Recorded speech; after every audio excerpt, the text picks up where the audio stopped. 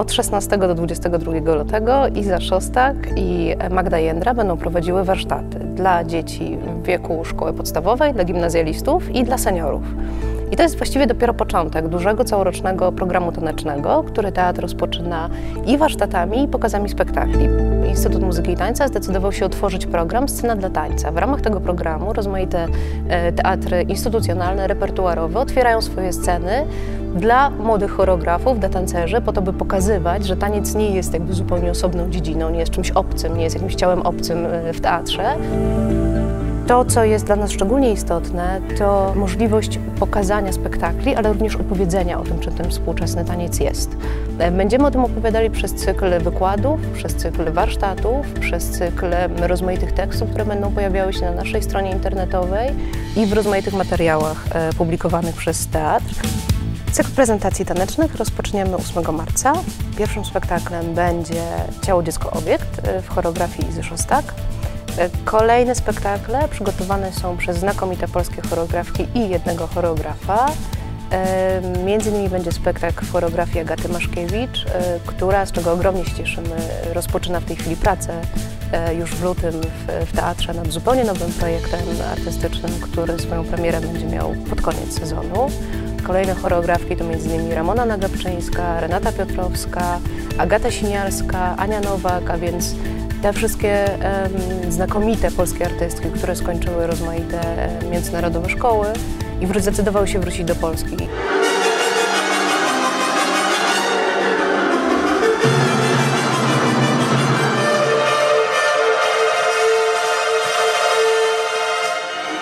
Zwieńczeniem cyklu będzie pokaz spektaklu, który wygrał tegoroczną Polską Platformę Tańca, to jest Liżyński Święto Snów w znakomitym wykonaniu Tomasza Wygody w choreografii Sławka Krawczyńskiego.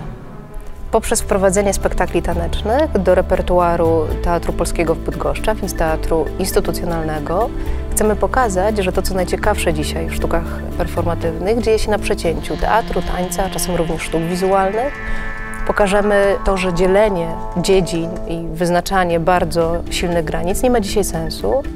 Chcemy zwrócić uwagę na to, że taniec może być bardzo silnym narzędziem rozmowy o sprawach politycznych. Spektakle, które tutaj pokażemy, są bardzo silną wypowiedzią na tematy polityczne, społeczne, dotykają dokładnie tych tematów, które w budowaniu repertuaru teatru są dla nas najistotniejsze. W lutym będziemy kontynuowali cykl debat y, rozpoczęty na początku sezonu w teatrze. Jedną z nich będzie debata o najnowszej książce wydanej przez e, Le Monde Diplomatique i wydawnictwo Książka i Prasa. To jest książka Enzo Traverso Historia jako pole bitwy. Jest to znakomite studium dotyczące historii politycznej, dotyczące sposobu postrzegania historii w Europie. Enzo Traverso pisze o najbardziej kluczowych najbardziej istotnych zjawiskach w europejskiej historii, takich jak rozmaite formy totalitaryzmu, faszyzm, nazizm, ale również to, do czego, e, do czego te zjawiska doprowadziły, a więc również pisze o Holokauście, nie pisze o samych tych zjawiskach, ale o sposobie ich percepcji, o tym, w jaki sposób o nich e, mówiono, pisano, jak je analizowano. I pokazuje, że ta debata na temat historii, na temat polityki historycznej bardzo się zmienia pokazuje, jak bardzo te zmiany mają wpływ na współczesne działania polityczne, obecne, teraźniejsze, w jaki sposób y, sytuacja, w której debata na temat przeszłości y, zaczyna kostnieć i staje się coraz bardziej konserwatywna, pokazuje, w jaki sposób konserwatywna strona tej debaty wprowadza, czy może wprowadzać autorytarne projekty polityczne, a więc stwarza realne zagrożenie dla demokracji, dla sposobu, w jaki, w jaki funkcjonujemy i dla pokoju e, w Europie. Kolejna debata, którą zaplanowaliśmy na luty, będzie dotyczyła zjawiska islamofobii, a więc zjawiska szalenie w tej chwili aktualnego i w kontekście europejskim e, wobec chociażby ataku terrorystycznego we Francji na redakcję magazynu Charlie Hebdo, ale także wobec ciągnącej się dyskusji na temat pokoju, y, ciągnącej się debaty wokół tak zwanej wojny z terroryzmem, która jak się okazuje jest jak zwykle wojną o interesy rozmaitych korporacji. Będziemy rozmawiać również o tym, w jaki sposób e, zjawisko islamofobii używane jest przez rozmaite e, frakcje polityczne, przez rozmaite grupy interesów, nacisków dla realizacji własnych interesów. Porozmawiamy również o tym, jak bardzo religia islamu, jak bardzo społeczności muzułmańskie postrzegane są stereotypowo, e, są marginalizowane, nie są tak naprawdę dopuszczane do głosu, a ich obraz jest e, zafałszowany. Debata ta przygotowywana jest we współpracy z Przemysławem Wielgoszem i z redakcją polskiej edycji Le Monde Diplomatique. Obok przygotowywanych na luty w Teatrze Debat będziemy kontynuowali cykl konwersatoriów związanych z tekstem Samuela Zborowskiego. E, kolejne odsłony tego cyklu będą miały miejsce 6 i 13 lutego.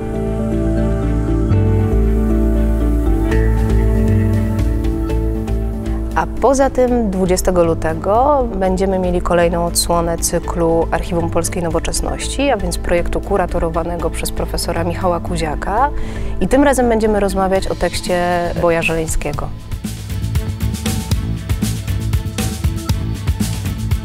Teatr Polski wspólnie z Fundacją Strefa Wolnosłowa zapraszają na trzydniowy cykl warsztatów wokół absolutnie kluczowego w tej chwili problemu dla Europy, problemu imigracji. W tej chwili Europa postrzegana jest jako zamek e, zaryglowany absolutnie przed e, imigrantami. Tymczasem sytuacja e, polityczna, społeczna, ekonomiczna zmusza bardzo wielu ludzi do emigracji, a Europa ciągle jest tym miejscem, nie wiemy jak długo, które obiecuje zmianę życia na lepsze. Bardzo często są to obietnice bez pokrycia. Natomiast w strefach granicznych Europy, takich jak chociażby Lampedusa, imigranci wielokrotnie koczują w nieludzkich warunkach, oczekując na azyl czy na jakąkolwiek odpowiedź ze strony Europy. Podczas warsztatów uczestnicy będą mieli okazję zapoznać się z materiałami zebranymi przez Alicję Borkowską i Tomasza Gromadkę. Podczas wizyt w rozmaitych strefach przygranicznych Europy poznają losy imigrantów, poznają rozmaite sytuacje, które towarzyszyły ich staraniom, często nieudanym o azyl w Europie, o legalny pobyt, o jakąkolwiek pracę.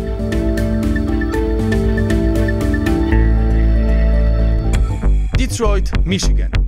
24 lipca, poniedziałek, godzina 9.18 czasu lokalnego.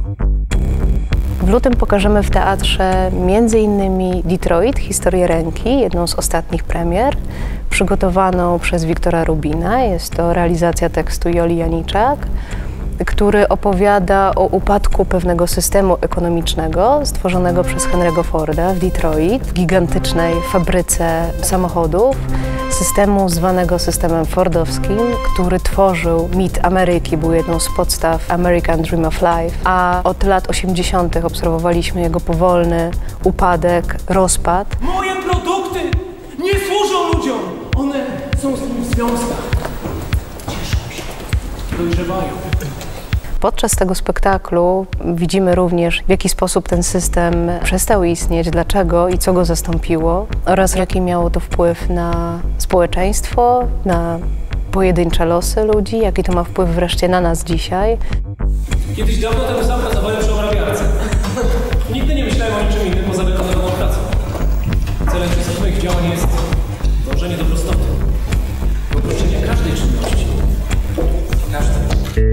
Myśląc dalej o problemach poruszanych w spektaklu Detroit, Historia ręki, będziemy rozmawiać m.in. o książce Jane Jacobs, e, wydanej po polsku pod koniec zeszłego roku. E, Franciszek Sterczewski i Grzegorz Piątek przygotują spotkanie 18 lutego poświęcone promocji tej książki.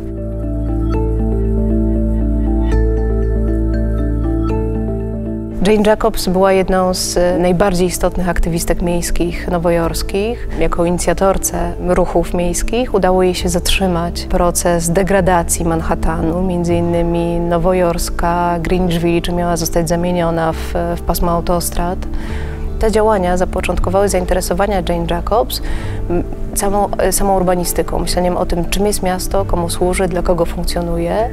Właściwie cała jej działalność dziennikarska, pisarska, aktywistyczna związana była z e, myśleniem o tym, e, dlaczego Miasto ma być podporządkowane interesom rozmaitych wielkich korporacji, idealistów, a nie ludziom, którzy je zamieszkują. Jane Jacobs walczyła o przywrócenie miasta jego mieszkańcom, walczyła między innymi z ideami Le Corbusier i zapis pewnego procesu degradacji amerykańskich miast e, oraz prób przywracania ich mieszkańcom e, jest treścią książki, którą będziemy promowali tutaj w Teatrze 18 lutego.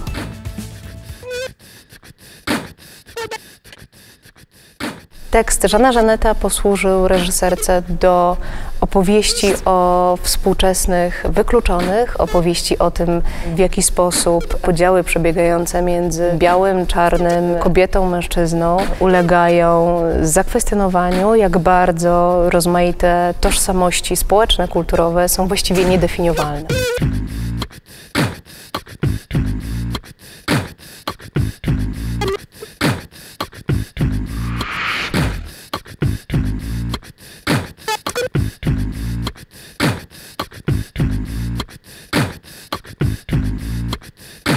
Zabił tę kobietę, żeby tym lepiej, tym prawdziwiej stać się murzynem. Poznaczonym szramami, gruboustym, płaskonosem, żarłocznym, pożeraczem białych i wszystkich innych kolorów. Od dwóch tysięcy lat Bóg jest biały. Jada na białym obrusie. Obciera białe usta białą serwetą. Nadziewa białe mięso na biały widelec. I patrzy, jak pada śnieg.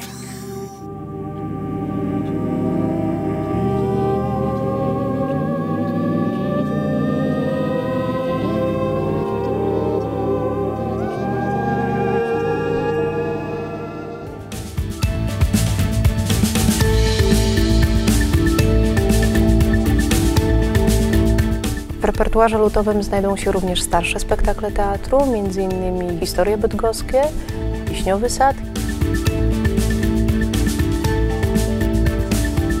Mamy w lutowym repertuarze również propozycje dla młodych i najmłodszych widzów. Zapraszamy na Pchłę Szachrajkę oraz na Plastusiowy Pamiętnik.